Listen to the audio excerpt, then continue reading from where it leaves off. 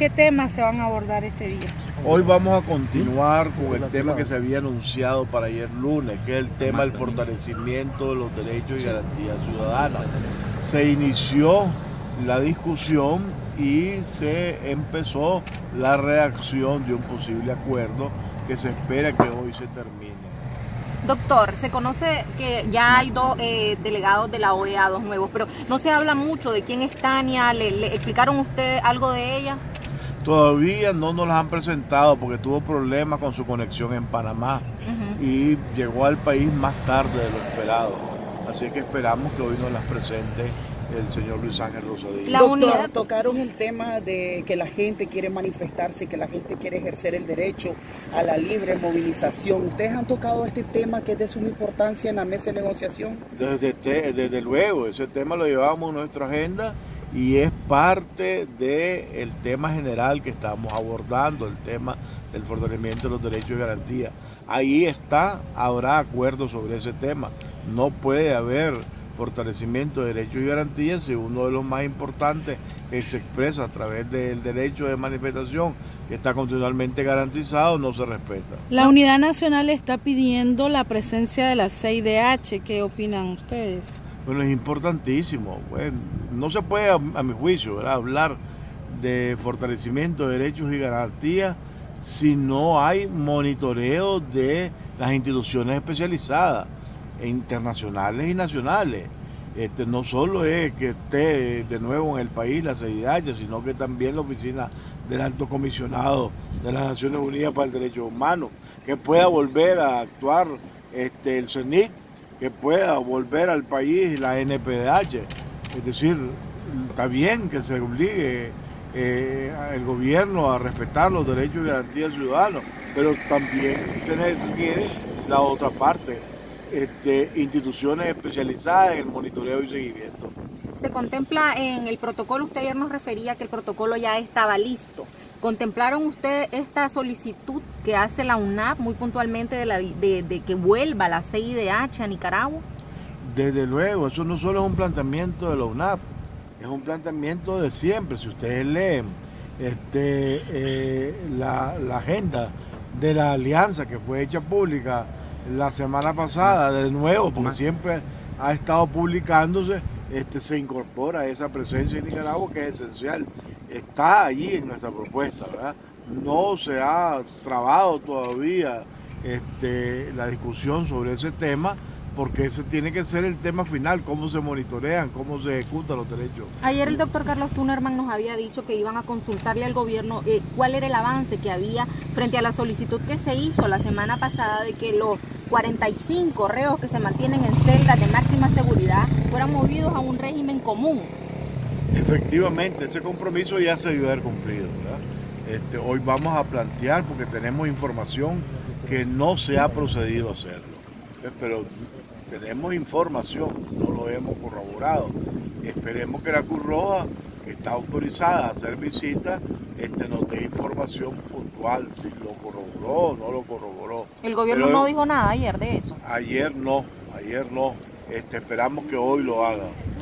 Bueno, seguimos insistiendo eh, casi eh, todos los días a la delegación del gobierno de la necesidad y la urgencia de que salgan todas y todos los presos políticos.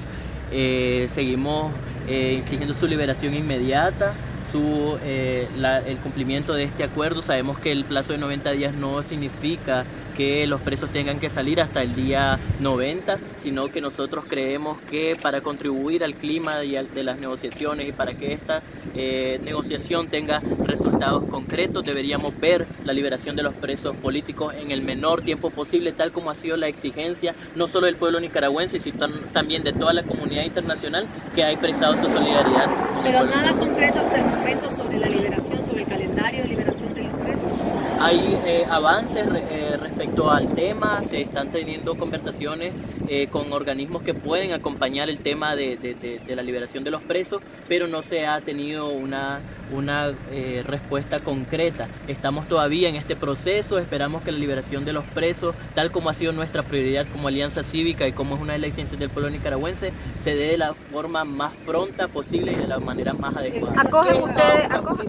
para que inicie este proceso? Porque están denunciando de que los muchachos están siendo agredidos, están siendo torturados en las celdas. Bueno, estamos al tanto de todas estas situaciones, estamos eh, siempre en constante comunicación con los comités de familiares, de presos, estamos siempre con, recibiendo a través de los mecanismos que como alianza hemos establecido de comunicación con otros sectores para, eh, para tener información sobre el tema de los presos eh, nosotros estamos, como ya he mencionado, siempre pendientes y poniéndolo sobre la mesa de negociación. ¿Acogen ustedes el llamado de la Unidad Nacional Azul y Blanco de que se integre a la CIDH, o más bien que la CIDH regrese a Nicaragua para que ella sea parte, o más bien garante, de este proceso de liberación de presos? Bueno, hemos expresado nuestro deseo de que los organismos internacionales competentes en la materia sean parte fundamental de este proceso, que puedan documentar, que puedan relatar, que puedan seguir de cerca el proceso de liberación de los presos con la garantía que sean eh, necesarias. ¿El gobierno no ha dicho nada que les ha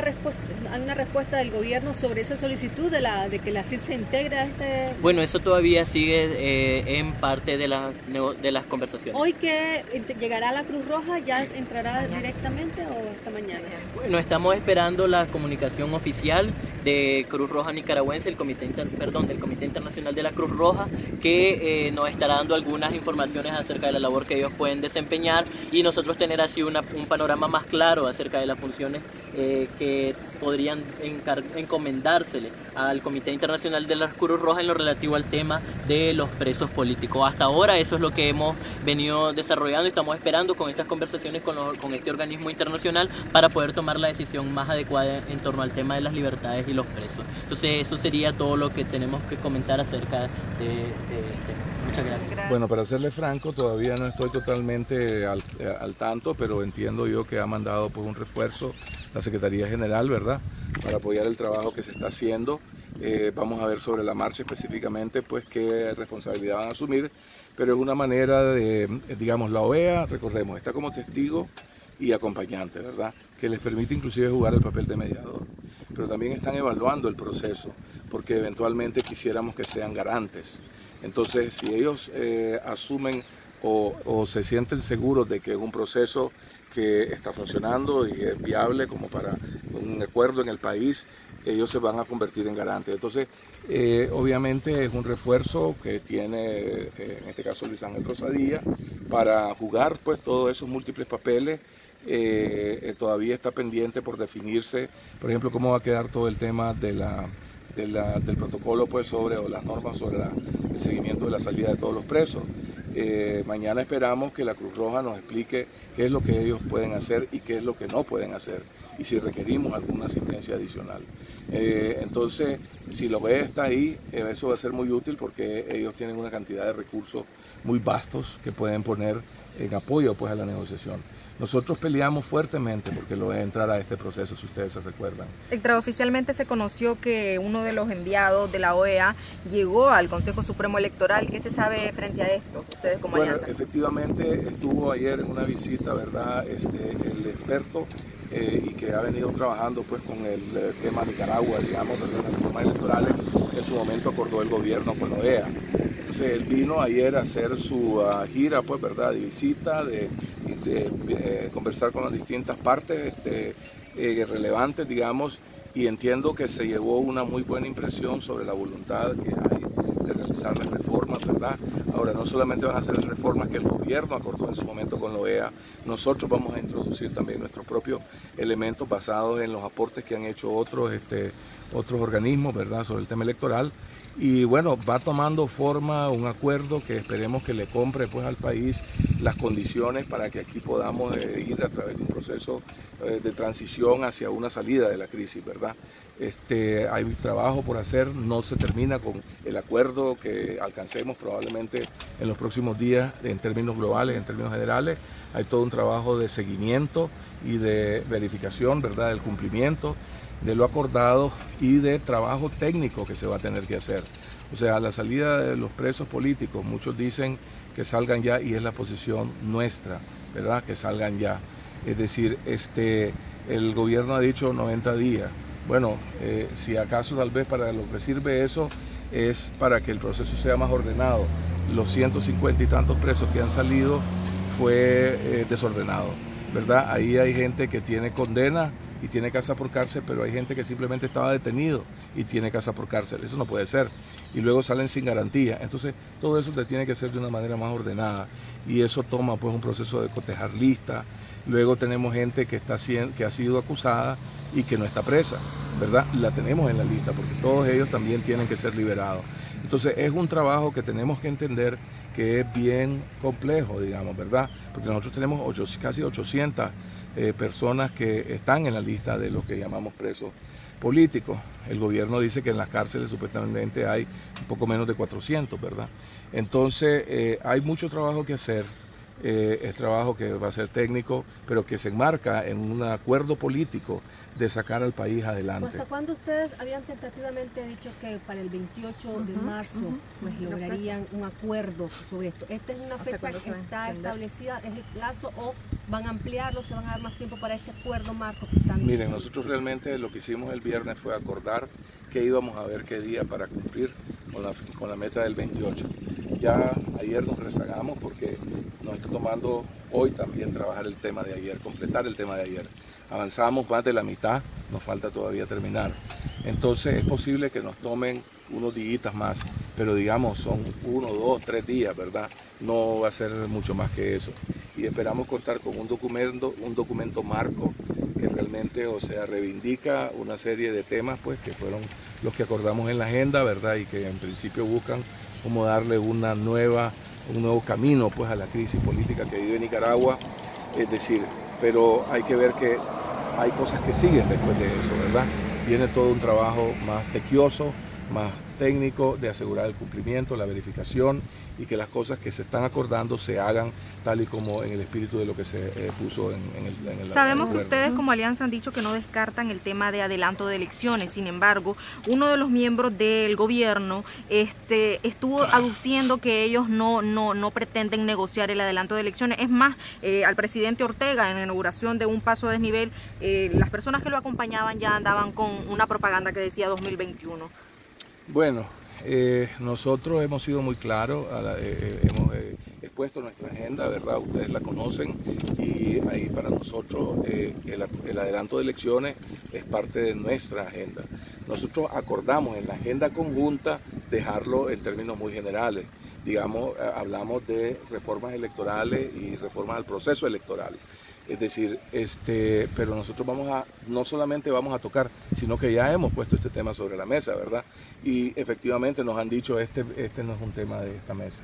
Es decir, pero nosotros seguiremos insistiendo porque realmente la pregunta que nos tenemos que hacer ajá, es decir, vamos a salir de la crisis eh, bajo esta administración hasta el 2021 y la verdad es de que el sentimiento, bueno, bastante generalizado que creemos que existe en el país es de que realmente el soberano tiene que tomar la decisión de si quiere o no continuar con este gobierno y realmente eso se hace a través de las votaciones. Y es cierto que requeriría reformas constitucionales, pero bueno, de lo que se trata aquí es un acuerdo político y eso lo deberíamos de explorar. Nuestro punto de vista y nuestra conclusión es de que el país necesita un golpe de timón y que no es bajo estas condiciones que vamos a recuperar la economía o la gobernabilidad de Nicaragua. El tema de las libertades públicas que se iba a tocar o que se tocó más bien el día de ayer, ¿qué tanto se ha avanzado? ¿La población eh, considera o desea salir a las marchas y manifestarse? ¿Ustedes ya lo han planteado? ¿Va a haber convocatoria de marcha en algún momento? libertades en cuanto al asedio a los medios de comunicación, de devolver a los medios de comunicación, soltar el papel bueno, este, todo lo que ustedes están mencionando ha sido tocado, es decir, inclusive está incorporado en el acuerdo. Para serle franco, en la marcha nos quedamos trabados ayer porque ya era tarde, ya estábamos, eh, que necesitábamos hacer unas consultas, entonces decidimos que nos dábamos este, un espacio para ir a hacer las consultas a las leyes del papel de la policía, cómo está eso normado y demás. Es decir, nuestro planteamiento es de que aquí deben de recuperarse todas las libertades que han sido cercenadas, pues, ¿verdad? Las libertades de movilización, de reunión, de organización, de expresión, eh, ¿verdad? Es decir, entonces ahí pues está incluido la marcha para ser Cristo y hemos abordado el tema de los medios, es decir, que termine pues todo este hostigamiento, que se le dé eh, eh, sus equipos, su materia prima, es decir, y en principio está inclusive ya en el acuerdo que el gobierno ha aceptado en la redacción de lo que tenemos. Nosotros estamos trabajando sobre una redacción que es producto, pues, digamos, del esfuerzo conjunto, pero estamos yendo eh, punto por punto en más detalle, en más profundidad, eh, pero allí hay cosas que el gobierno ha aceptado eh, y esto del tema de los medios de comunicación es uno de los temas que sí están ya aceptados por el gobierno, lo cual pues yo creo de que lo vamos a ver probablemente en el documento y ojalá que entendamos el lenguaje, porque estamos teniendo que aceptar un lenguaje hasta cierto punto que algunos consideran que, que, que, es un poco diplomático para ponerle un nombre. Es decir, este, pero los testigos saben lo que hay ahí, nosotros sabemos lo que hay ahí, el espíritu de lo que hay ahí. Y vamos a asegurarnos de que en los mecanismos de seguimiento y los mecanismos de verificación realmente, es decir, el espíritu se conserve, se preserve, ¿verdad? Eh, de lo que se está acordando. Pero sí, nuestra postura es que todas las libertades que han sido cercenadas deben devolver incluyendo la libertad de todos los presos políticos. Cuando habla que el gobierno ha aceptado algunos puntos en relación con los medios de comunicación, hablando de la liberación de eh, el, papel y la tinta de los periódicos, la devolución de los medios eh, confiscados. Eh, efectivamente, todo eso está tocado así con nombre y apellido, pues inclusive, ¿verdad? No va a quedar así en el acuerdo, pero va a quedar lo suficientemente claro de que hay un compromiso con que eh, todo esto pues se normalice. Se alegó de que supuestamente hay unas reparaciones fiscales, es decir, que son las que están atrasando, ¿verdad? Pero, de 10 meses y obviamente es político, pensamos nosotros, y yo creo pues que ya sí tenemos este, la voluntad y esperamos que se cumpla, ¿verdad?